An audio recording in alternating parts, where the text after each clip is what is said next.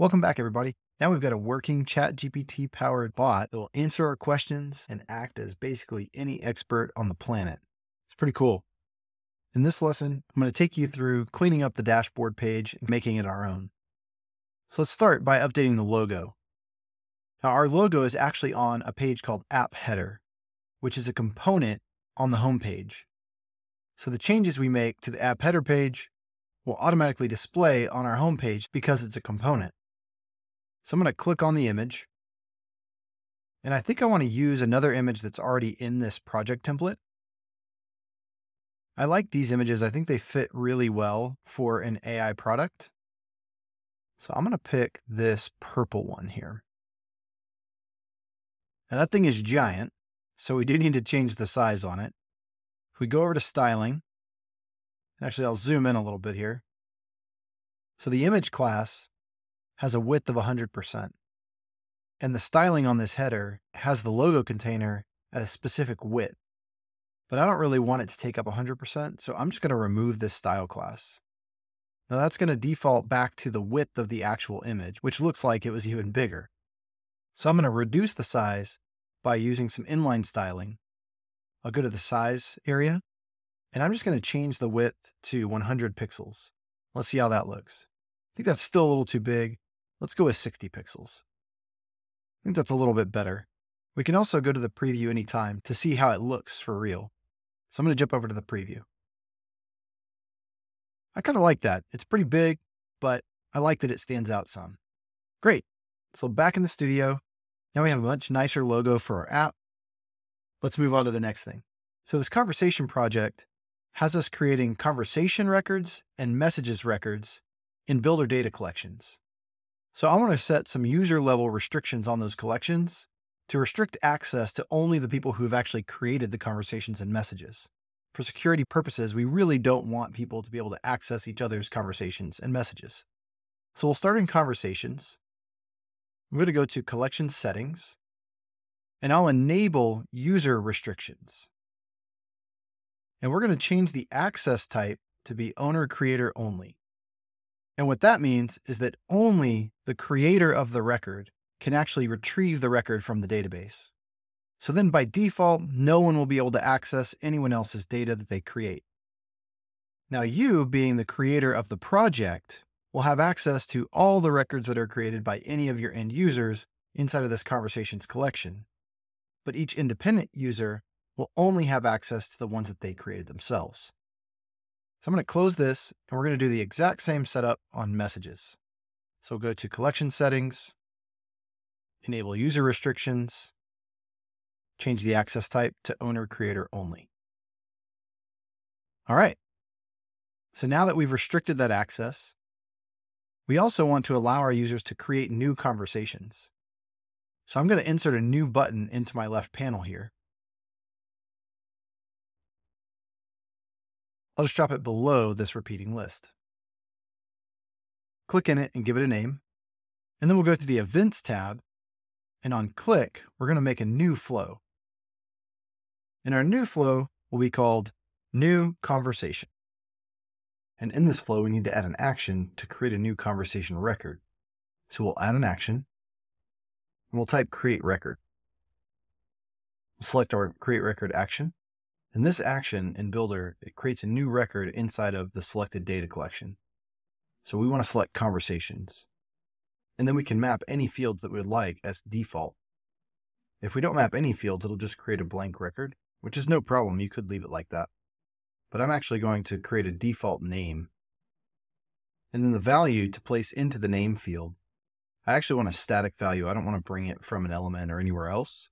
So I'm just going to change that to text as my input type and then we'll just type new conversation. So now when this flow runs, it'll create a new record using this action in the conversations data collection, and it'll have a name of new conversation. Now new records in Bildr data collections automatically know who the user was that created that record. So with our user restrictions we put on the data collection, the filtering will be automatic to where people only get to see the conversations they've created.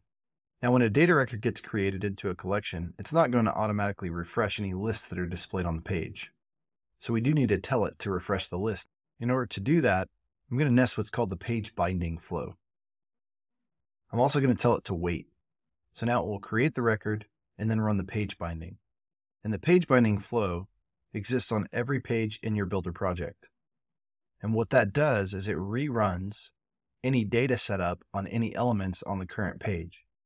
So in our case, we have the data set up on our repeating list to come from the conversations collection. So it's going to automatically rerun this data setup, which is going to find the new conversation that was created when the user clicked the button. I think I'll move this button up to the top so that it's above the repeating list. So now let's see what this looks like in our preview. And I'll just click New Conversation. And there we have our new conversation. I can click on it to open it up. So next, let's make a few more cleanup changes to this dashboard page. So on the left here, when we click on one of these, I think it should remain selected. So it should show you which one is selected here, even after I move my mouse off of it. We'll also make it to where when I refresh the page, it selects the very top one. So automatically when we come in, nutrition would be selected. And then we should also change the sort order of our repeating list to keep the most recent conversation at the top. All right, let's go back in the studio and do those three things. We're already on our repeating list. So let's go ahead and set a sort order. I'm going to tell it to sort it by the created date time, but I'm going to sort it descending so that the most recent one is at the top. Now, if we go back to the preview, we can see we now have them in order of creation.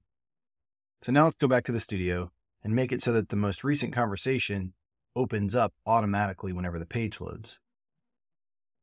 So in the studio, we're going to do that work on the row of the conversation. So this is the display page that displays inside of our repeating list.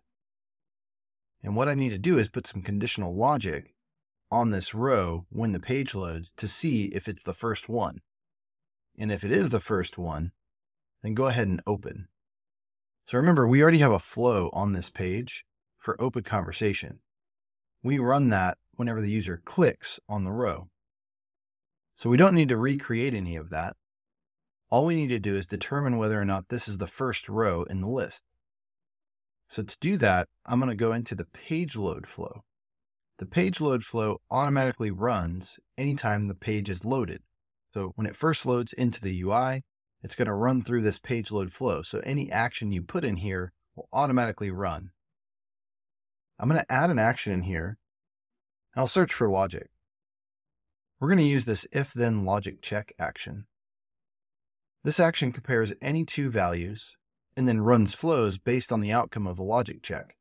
So in our case, we're going to check to see if it's the first row, and if it is, we'll run the open conversation flow. So that way, if it's the first one, it will automatically open the conversation. If it's not the first one, then it won't do anything at all. So the way to determine if it's the first row in a repeating list is to use a default variable that's added automatically to every single repeating list row. So I'm going to change my logic test. Instead of having a static value for our input in our logical test, I'm going to pull from a variable on the current page. And the variable we're looking for is called underscore array index. And this variable will exist on every single repeating list item in Bildr. An array index is the position of an item inside of a list. So you can think of an array as a list of things and the index as its position. And in programming, the very first one is always zero. So if I have these three in this list, it would be zero, one, two.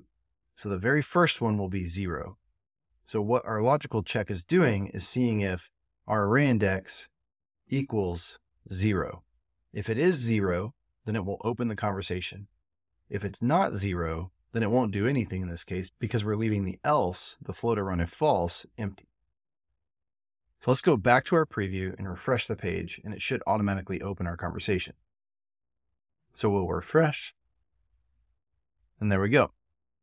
We've automatically opened our conversation. All right, so the last thing we're going to do to the dashboard is make it so that when one of these is opened, it remains with this styling applied to it.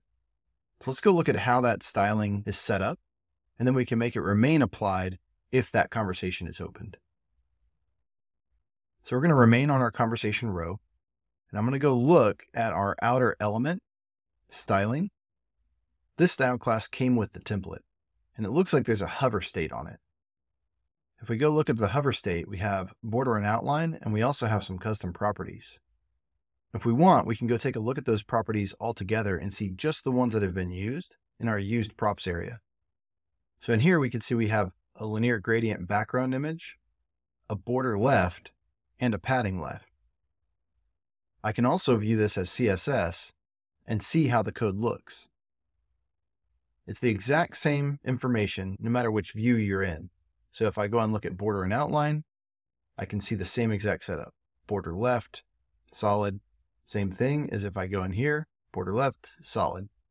Same as CSS. Border left, two pixels solid. So what we want to do is make it so that these style properties are applied when one is selected and removed when they're not selected. So what I'll do is go to the CSS and I'm going to copy it. I don't need the selector here. That's just for the hover state. But I do need background image, border left, and padding left. So I'm just going to copy those. And then I'll go back to our main styling tab and we're going to use a utility class because utility classes override the primary style class, and we can easily apply and remove utility classes from our different rows. So I'll add a new utility class, and we'll give it a name. We'll go into our new utility class, into CSS, and I'm going to paste my copied CSS. And I'll save those changes. So now our selected class is applied to every row. We don't want it that way by default. So what I'll do is go back and remove it. And then what we're going to do is create two new flows that add and remove our utility class from our outer container. So I'll make two new flows that run to set the state as selected or not selected. So I'll go to flows and add a new flow named selected equals yes. And we'll make a second new flow, selected equals no. In our selected equals yes flow, we'll add an action that adds a style class. In this action, we're going to select the style class to add, which is our app list item selected class that we just created.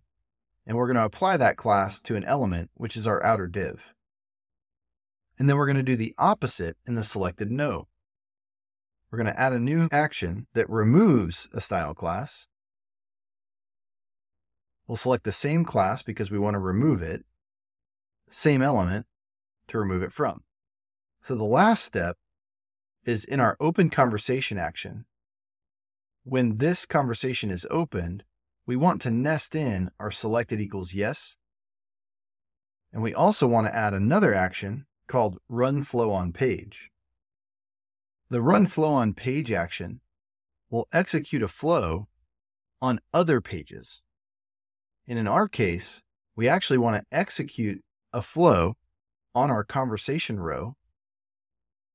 And the flow that we want to run is selected no, but we want to run it on all of the conversation rows that are not the current one.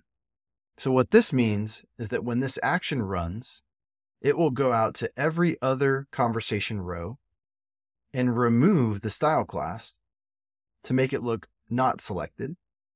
And it will set the one that we clicked on to selected yes.